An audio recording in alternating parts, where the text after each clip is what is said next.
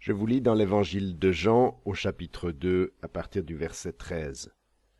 La Pâque des Juifs était proche et Jésus monta à Jérusalem.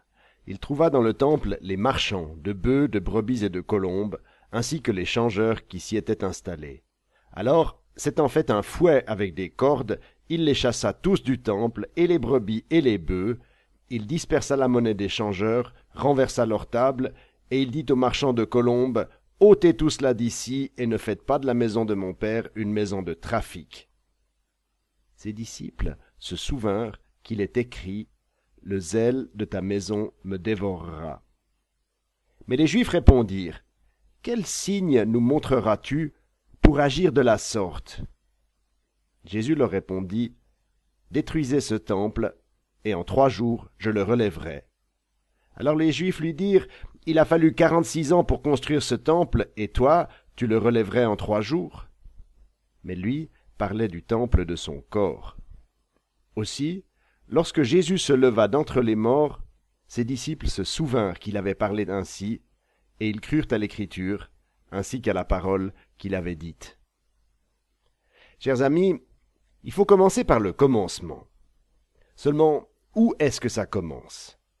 Quel est le point d'ancrage de notre foi? Quel est le point de départ? Beaucoup de belles histoires commencent par Il était une fois, il y a très longtemps. Et notre histoire de chrétien, de croyant, elle commence comment? Parce que la foi doit pouvoir se raconter. On doit pouvoir la dire à des adultes. On doit pouvoir la dire à des personnes âgées. On doit pouvoir la dire à des jeunes. On doit pouvoir la dire à des enfants. On ne peut pas priver les autres de la force qui nous tient ensemble. On ne peut pas garder pour soi l'espoir qui nous fait vivre. Il faut raconter Dieu, il faut raconter Jésus-Christ, mais par où commencer? Pourquoi est-ce que je vous pose cette question? Parce que le récit des marchands chassés du temple que nous venons de lire dans l'évangile de Jean est dans cet évangile le premier acte public de Jésus.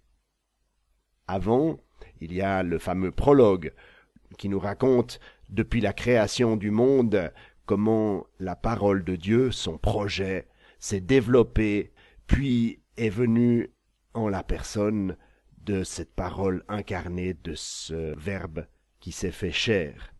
Ensuite vient l'épisode de Jean-Baptiste qui rencontre Jésus et qui le désigne comme l'agneau de Dieu.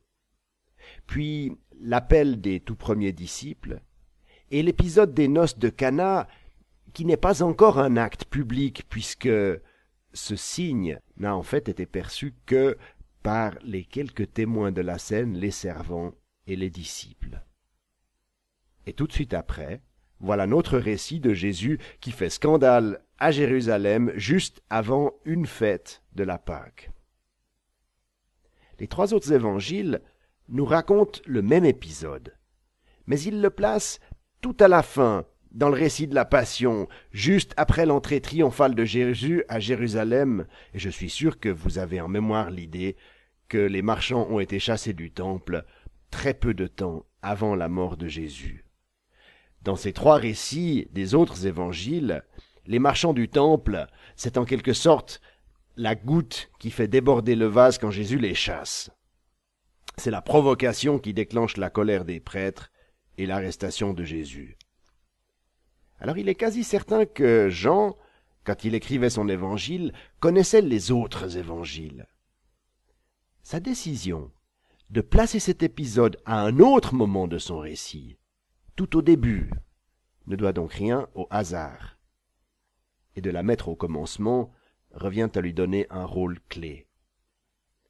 Et si on regarde le récit de près, on se rend compte qu'il y a deux choses très bizarres dans ce récit, dans l'évangile de Jean. D'abord, la réaction des religieux, ceux que Jean appelle les juifs. On s'attendrait à ce que, comme dans les autres évangiles, ils soient en colère, ils se fâchent de voir Jésus chasser les marchands.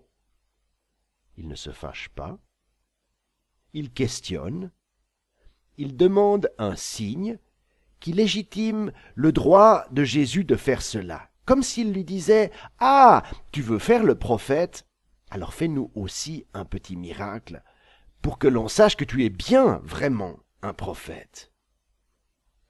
Autrement dit, ils reconnaissent dans ce que fait Jésus un geste prophétique qui s'inscrit dans la longue tradition de ce que les prophètes ont fait à Jérusalem pour attirer l'attention sur quelque chose d'important.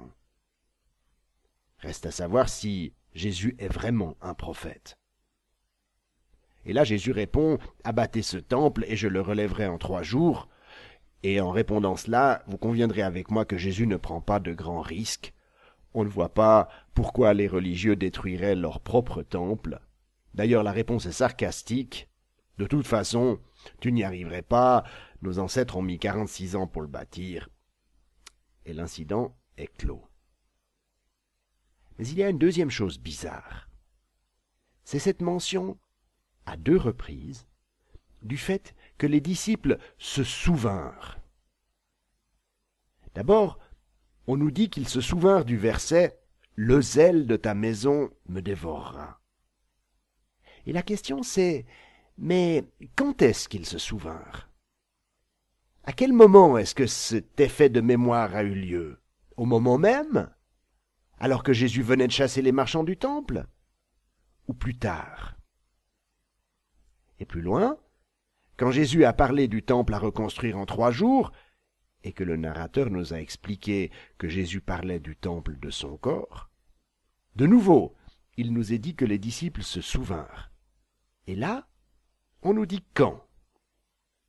Aussi, nous dit-on, lorsque Jésus se releva d'entre les morts, ses disciples se souvinrent qu'il avait parlé ainsi, et ils crurent à l'Écriture, ainsi qu'à la parole qu'il avait dite. Il y a donc deux temps.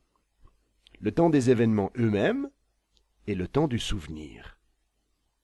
Mais le temps du souvenir est aussi le temps où les événements passés prennent sens, parce que maintenant on connaît la suite, parce qu'on sait comment l'histoire s'est développée.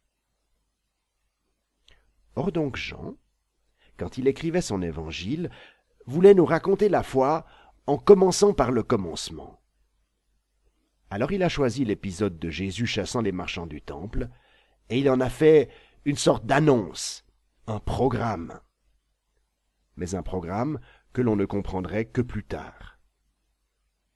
Le premier acte public de Jésus est déjà dans l'évangile de Jean une annonce de la passion. Et cette passion, c'est comme si elle commençait avec le premier acte public de Jésus. Le temple de mon corps vous le détruirez, mais en trois jours il sera relevé. C'est là le commencement, le commencement de notre foi, son cœur. C'est parce que tout commence durant ces trois jours de la Passion qu'il faut raconter ce qui s'est passé avant. Les événements de la vie de Jésus ne prennent sens, pour Jean, qu'à la lumière de la passion de Jésus. Jean veut nous montrer que tout le parcours de Jésus converge vers la croix, ou plutôt vers la glorification, pour employer les termes de Jean. Tout, ses paroles, les signes qu'il a montrés, tout cherche à tourner nos regards vers Pâques, vers la passion du Christ. Jean n'est pas dans une logique chronologique, il n'est pas un historien qui raconte les événements les uns après les autres. Il prend des libertés dans l'ordre des événements, parce que ce qui compte pour lui, c'est le sens qu'ils ont. Ce qui compte, c'est ce moment précis où les disciples se disent Maintenant, je comprends. Maintenant, je comprends pourquoi Jésus a dit ça. Je comprends pourquoi il l'a dit dès le début. Or aujourd'hui, les disciples, c'est nous. C'est à nous que Jean parle, pour nous transmettre ce qu'il croit, en commençant par le commencement. Et c'est nous qui recevons cette parole, qui nous laissons travailler par elle, avant de la croire et de la transmettre plus loin, là aussi, en cherchant à commencer par le cœur, le commencement, l'essentiel. L'essentiel, il y a très longtemps, le Christ nous a aimés jusqu'à la croix. Mais il y a très longtemps, c'est aussi aujourd'hui, puisque la vie a triomphé de la mort. Il nous a aimés, il nous aime, et il nous aimera.